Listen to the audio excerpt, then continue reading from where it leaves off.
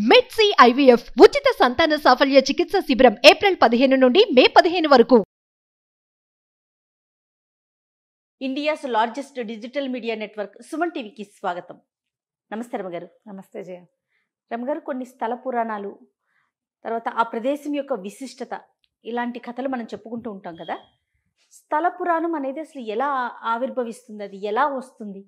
అది ఎలా ప- ప్రజల్లోకి వెళ్తోంది? అంటే ఆ ప్లేస్లో ఏదైనా ఒక ప్రత్యేకమైన విషయం జరిగింది అనుకో శ్రీకాళహస్తి ఉంది. అక్కడ ఒక శివలింగానికి కాళము శ్రీహస్తి సాలెపురుగు పాము ఏనుగు కలిసి పూజ చేసాయి. అందుకని ఆ ప్రాంతానికి శ్రీకాళహస్తి అని పేరు వచ్చింది. అది తొలి కాలంలో తెలుసుకున్న వాడెవడో ఆ నోట ఈ నోట ప్రచారం జరుగుతుంది. ప్రచారం జరుగుతుంది. అలాగే మనకి చాలా ప్రత్యేకమైన ప్లేసుల్లో ఆ అక్కడ ఏం జరిగిందో అలాంటి ఆ పేరు. ఎలా ఇప్పుడు గోకర్ణం. ఆ, గోకర్ణ క్షేత్రంలో అది గోకర్ణ రూపంలో ఉంది అక్కడ. అందుకని అది గోకర్ణము. అలాగనమాట. అన్ని ప్రాంతాలకి కాదు కొన్నిటికి ఇట్లా స్థల పురాణాలు ప్రత్యేకంగా ఉంటాయి. కొన్ని కొన్ని కథలు చాలా ఇంట్రెస్ట్గా ఉంటాయి. శ్రీకాళహస్తి కథ చూడు మనకి ఎంత ఆసక్తికరంగా. ఉంటుంది. మంచి మంచి కథలు ఉన్నాయి అట్లా. అలాంటిది ఒక కథ చెప్దామా ఇవాళ? తప్పకుండా. పుష్పగిరి. ఓ. ఈ పుష్పగిరి ఎక్కడుంది? కడపలో ఉంది. పుష్పగిరి పీఠం మనకి ఇక్కడ హైదరాబాద్లో కూడా. కనిపిస్తుంది. పుష్పగిరి పీఠం ఒకటి ఉంది. దానికి పీఠాధిపతులు వాళ్ళు ఉన్నారు. అసలు ఈ పుష్పగిరి అసలు ఆ ఊరు అది కానే కాదు. తర్వాత వచ్చింది ఆ పేరు. అది ఎప్పుడో జరిగిందట. చాలా దీని క్రితం. ఇంచుమించు అంటే కలియుగ ప్రారంభంలోనే జరిగిందని ఒక మాట. ముందు యుగాల్లో ఉన్నది కాదు కలియుగ ప్రారంభంలోనే ఉన్నది అని. బాగుంది ఇంట్రెస్టింగ్గా ఉంది కదా. ఈ ఆంధ్ర ప్రాంతానికి చెందిన ఒక బ్రాహ్మణ ఆయన ఒక ఆయనకి తీర్థాలు క్షేత్రాలు తిరగాలని కోరికట. అయితే పాపం ఆయన పేదరికం వల్ల చేయలేకపోయాడు. ఆ కాలంలో ఏంటంటే ప్రయాణం చేయాలి. రెక్కాడితే కానీ డొక్కాడని రోజులు. ప్రయాణాలకేమో ట్రాన్స్పోర్టేషన్ అస్సలు లేదు. కాలి నడకన వెళ్ళాలి. ఏ తీర్థం క్షేత్రం వెళ్ళాలన్నా పది రోజులు పడుతుంది. పది రోజులకి ఆహారానికి మూట కట్టుకుని వెళ్ళాలా? లేదా. డబ్బులు పుచ్చుకెళ్ళాలా? ఇప్పట్లాగానే అప్పుడు కూడా. కాలినడకనే వెళ్ళినప్పటికీ పోనీ ఆయన ఒకడు తీర్థం క్షేత్రం చేస్తానంటే ఇంటి దగ్గర తల్లి పిల్ల చెల్లి వీళ్ళంతా ఎలాగా.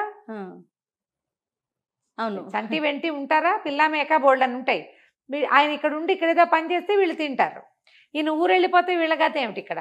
దాంతో అలా ఉండిపోయి పాపం ఏమీ వెళ్ళలేకపోయాడట ఎక్కడికి ఆయన. వాళ్ళ ఊళ్ళోనే ఏదో గుళ్ళోకి వెళ్ళి పురాణం విని ఆ ఊరు నదిలో స్నానం చేసి ఉండేవాడు. కొంతకాలానికి ఆయన వృద్ధుడైపోయి మరణించాడు. మరణించే ముందు కొడుక్కి చైనులుట ఆయన కొడుకు పేరు. బ్రాహ్మణ ఆయన కొడుకు పేరు. ఆయన ఏం చెప్పాడంటే ఒరే నాయన జీవితకాలం అంతా తీర్థాలు క్షేత్రాల మీద ఆశతోటే బతికా. ఎక్కడికి వెళ్ళలేకపోయా మరణ సన్నత వచ్చేసింది. కనీసం నా అస్థికల్ని కాశీలో కలుపు. తీర్థాలు క్షేత్రాలు ఏవైనా దర్శనం చేయ నా అస్తులతోటి కాశీకి వెళ్ళాలంటే ఇక్కడి నుంచి ఫ్లైట్ ఎక్కి కాశీకి వెళ్ళేది కాదు కదా. దారిలో వెళ్తూ ఉండాలి అక్కడ ఉన్న దేవాలయాలు తీర్థాలు క్షేత్రాలు అన్నీ చూడాలి. చూసుకుంటూ వెళ్ళు. నన్ను కాశీ చేర్చరా నాయన? నాకు ముక్తి అలాగే వస్తుంది. ఎందుకంటే నా అస్తుల్ని పట్టుకుని ఉండిపోయింది నా కోరిక. తీర్థయాత్ర కోరిక అని చెప్పాడు. తండ్రి మరణించాడు. అస్థి సంచయనం అదే ఆ కర్మలు అన్నీ అయిపోయాక అస్తులు తీసి పక్క పెట్టుకున్నాడు ఈయన. అయితే ఈయనకి కొంచెం కలిసి వచ్చింది చైనులకి. కాస్త తండ్రి ఉండగానే కొంత కలిసి వచ్చింది. కాకపోతే వృద్ధాప్య వృద్ధాప్యం వల్ల ఆయన ముసలాయన వెళ్ళే ప్రయత్నం చేయగల ఇప్పుడు ముసలాళ్ళు అంటే శుభ్రంగా వీల్ చైర్కి వెళ్ళిపోతారు ఫ్లైట్ ఎక్కి. అప్పుడు ఎట్లా సాగేది? కష్టం కదా. అవకాశం లేదు కదా. సరే ఈయన ఏం చేశాడు? బాగా అన్ని ఏర్పరిచి ఇంట్లో వాళ్ళకి వీలుగా తనకు కూడా కొంత సొమ్ము మూట కట్టుకుని కాశీకి పోయినవాడు కాటికి పోయినవాడు ఒకటే అనేవాళ్ళు ఆ రోజుల్లో. ఉమ్, అయినా సరే మొండికెత్తి మా నాన్న ఆఖరు కోరిక తీర్చాలి కొడుకుగా నా విధి అని చెప్పి ఆస్తుల్ని మూట కట్టుకున్నాడు కొంత సామాన్లు మూట వేసుకున్నాడు ఓ చిన్న బండి ఏదో బాడిగా బాట మాట్లాడుకుని మెల్లిగా ప్రయాణం సాగించాడు దారిలో ఎన్నో చూస్తూ ప్రతి చోట మా నాన్నకి ముక్తి లభిస్తుందన్న సంతోషంతో ఉన్నాడు. అలా ఇలా వెళ్ళి వెళ్ళి వెళ్ళి ఈ చివరికి ఆయన కడప చేరాడు. కడపలో పినాకిని నదీ ప్రవాహం ఉంది. పినాకిని ఉంది అక్కడ. ఈయన పినాకిని చాలా గొప్ప నది మంచి పేరుందని పినాకిని నదీ తీరంలో స్నానం చేయటానికి పోయాడు. ఈ అస్తుల మూటని కాశీలో కలుపుదామనుకున్నాడుగా గట్టు మీద పెట్టాడు. ఆయన సామాన్లన్నీ బండిలో ఉన్నాయి. ఇంకా ఏదో కొన్ని సామాన్లు యువతలు ఏవో ఉన్నాయి. బండి అక్కడికి వెళ్ళాక బండి వదిలిపెట్టేశాడు. ఏదో మొత్తాన్ని కాలు నడకనే వచ్చాడు. నదిలోకి స్నానం చేయడానికి దిగాడు. ఓ పక్కన దిగిన తర్వాత ఏమైంది? నదికి రెండు పెద్ద పొంగులు వచ్చినాయి అప్పుడప్పుడు అలా వస్తుంది. పైనుంచి నీళ్ళు వస్తాయి ఈ పొంగులతోటి ఈ గట్టు మీద మూట పెట్టాడుగా అస్త- అస్తుల మూట తడిసిపోయిందట. అయ్యో. ఈయన ఏం చేశాడు? సరే స్నానం చేసి వచ్చి సంజ వార్చుకుని అయ్యో అస్తులు తడిసిపోతున్నాయి మూట తడిసిపోతుంది. తీసి గుడ్డ ఆరబెట్టి మళ్ళీ మూట కట్టుకుందామని గుడ్డ ఊడ తీశాడు మూట. ఆ గావంచా మూట ఊడదీశాడు ఊడదీస్తే అందులో ఘుమ ఘుమలాడిపోతున్న మల్లెపూలు ఉన్నాయి ఆశ్చర్యపోయాడు ఆయన.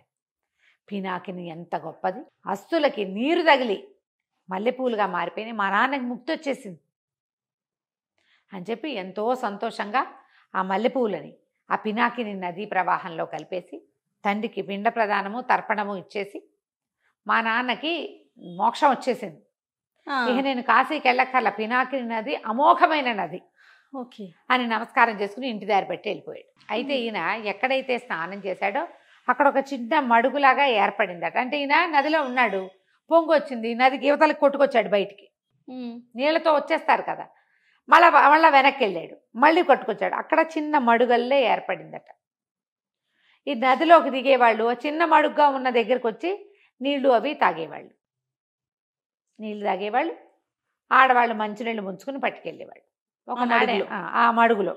ఒకనాడు ఏమైందంట? ఒక వృద్ధుడు ఒక ఆయన వృద్ధ రైతు. తన కాడెడ్లు ఎడ్లని వెంబడి పెట్టుకు బయలుదేరాడు.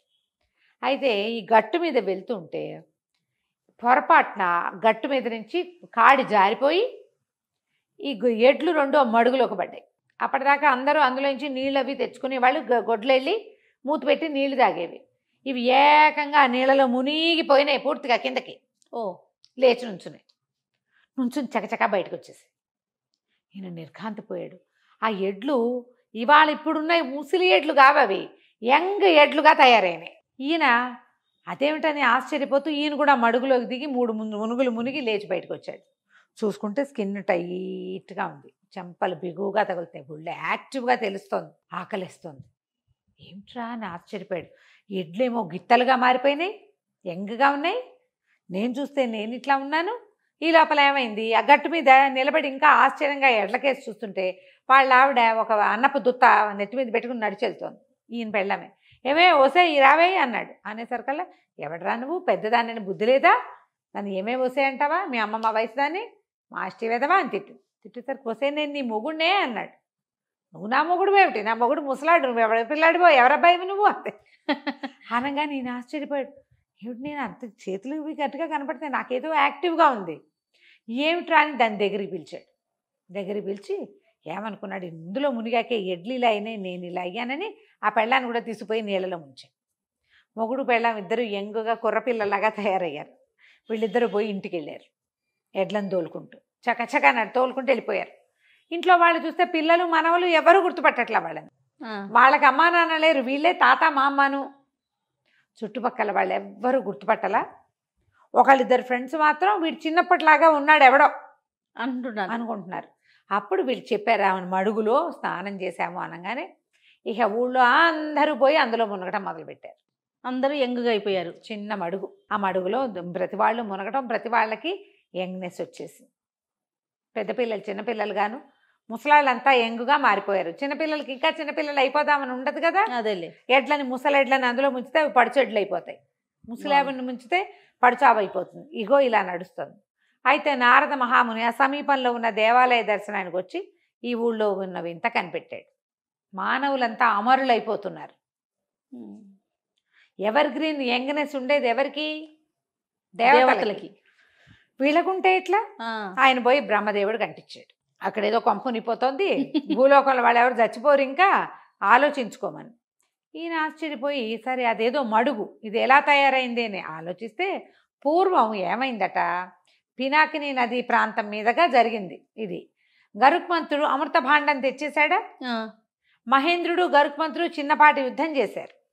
ఆ సమయంలో ఈ అమృత భాండంలోంచి ఒక చుక్క అక్కడ పడింది పినాకిని నదిలో. అది ఆ మడుగున్న ప్రాంతం. కరెక్ట్గా అక్కడ ఉంది ఆ ఆ కరెక్ట్ సర్టన్ పాయింట్లో అడుగుపెట్టిన వాడికి అమరత్వం వచ్చేస్తుంది. అక్కడి నుంచి బ్రహ్మదేవుడు ఏం చేశాడు? ఇట్లా కాదని ఆంజనేయ స్వామిని పిలిచాడు. పిలిచి హనుమా ఒక పని చెయ్యి ఒక పెద్ద పర్వతాన్ని తీసుకుపోయి ఆ మడుగులో పడి. కనిపించకుండా. ఇక ఆ మడుగు ప్రపంచానికి కనపడకుండా ఉంటుందంటే ఆంజనేయ స్వామి బ్రహ్మదేవుడి ఆజ్ఞ చొప్పున ఒక పెద్ద శిలా పర్వతాన్ని ఒక శిలని చాలా పెద్ద కొండ లాంటిదని తెచ్చి పడేశాడు. ఆ, పడేస్తే అదేమైందట ఆ లోపల ఉన్న అమృతపు తాకిడికి అమృతపు చుక్క ఉంది కదా బెండులాగా తేలిపోయిందట. దానికి రెండు పక్కల నుంచి నీళ్ళు బయటకు వచ్చేస్తాయి. ఆ, తేలుతోంది నీళ్ళల్లో మడుగులో అది. ఇంకేం చేయాలో తెలియలే భూమి మీద ఒక పరంపర ఒక పద్ధతి ఉంది ఏమిటది? పుట్టడం పెరగటం గిట్టటం. అంతేగా? పెరగటం ఆగిపోతే ఎట్లా? అప్పుడు గిట్టడం ఉండదు కదా? వృద్ధాప్యం లేదే మరణం ఎక్కడి నుంచి వస్తుంది? అవును అవును. ఎవడో ఒకడు పోతాడు యంగ్గా ఉండేది అసలు ఆ కాలం యంగ్గా మరణించే కాలం కాదు అది. ఈయన పోయి విష్ణుమూర్తి దగ్గరికి వెళ్ళాడు. విష్ణుమూర్తి వెళ్ళి శివుడి దగ్గరికి తీసుకుపోయాడు. ముగ్గురు ఆలోచించారు. సరే ఓ పని చేద్దామని. ఏం చేశారు? మళ్ళీ ఇంకొక శిలాన్ని తెచ్చిపెట్టమను. ఈసారి దాన్ని నేనో పక్కన శివుడో పక్కన ఆపి దాన్ని ఆపుతాం అందులోకి. అదిమేస్తాం లోపలికి పెడతాం అని చెప్పారు. సరే ఏం చేశాడట? మళ్ళీ హనుమతోటి ఇంకో శిలా పర్వతాన్ని తెప్పించారు. ఆల్రెడీ ఉన్న బెండు మీద దాన్ని పెట్టించారు. వీళ్ళు ఏం చేశారు? ఇద్దరు అయ్యవార్లు చెరో పక్కన నిలబడి దాన్ని ఇట్లా తొక్కి పెట్టారట. అప్పుడు ఆ మడుగు మూసుకుపోయింది. పినాకిని నది యొక్క గొప్పతనం మాత్రం దానికే ఉండిపోయింది. మడుగైతే శాశ్వతంగా మూసుకుపోయింది కానీ ఆ ఏర్పడిన కొండకి అటు పక్కన ఒక విష్ణువాలయము ఇటు పక్కన ఒక శివాలయము ఏర్పడ్డాయి. పువ్వులు అస్తులని పువ్వులుగా మార్చింది. ఆ పువ్వుల వల్లే కదా ఈ కొండ వచ్చింది అందుకని అది పుష్పగిరి అయిందట. పుష్పగిరి చాలా విశేషమైన ప్రాంతం. అక్కడికి వెళ్తే అక్కడ గాలిలోనే మనని ఆహ్లాదపరిచే ఒక లక్షణం ఉంటుందట. ఆ పినాకిని నదిలో స్నానం చేసి పుష్పగిరి క్షేత్రాన్ని దర్శనం చేస్తే మనకి మానసిక మానసికమైనటువంటి ఆహ్లాదం లభిస్తుందని చెప్తారు. కథ చూడు ఎంత బాగుంది. ఎంత బాగుంది రమ్మగారు. ఎటు నుంచి ఎటు వెళ్ళిందో చూడండి. ఎవరైనా కడప ప్రాంతానికి వెళ్తే తప్పకుండా పుష్పగిరిని దర్శించండి. తప్పకుండా. చూడవలసిన క్షేత్రం విష్ణు మహేశ్వరుల యొక్క పాదాల తాకిడి ఉన్నది ఆ నేల మీద. వాళ్ళు వచ్చి నిలబడ్డారట అక్కడ. అందుకని అది చాలా అద్భుతమైన క్షేత్రం అని చెప్తారు. సూపర్. నమస్తే. నమస్తే. సుమన్ టీవీలో మీ పర్సనల్ అండ్ బిజినెస్ ప్రమోషన్స్ కోసం కింది నెంబర్కి కాంటాక్ట్ చేయండి.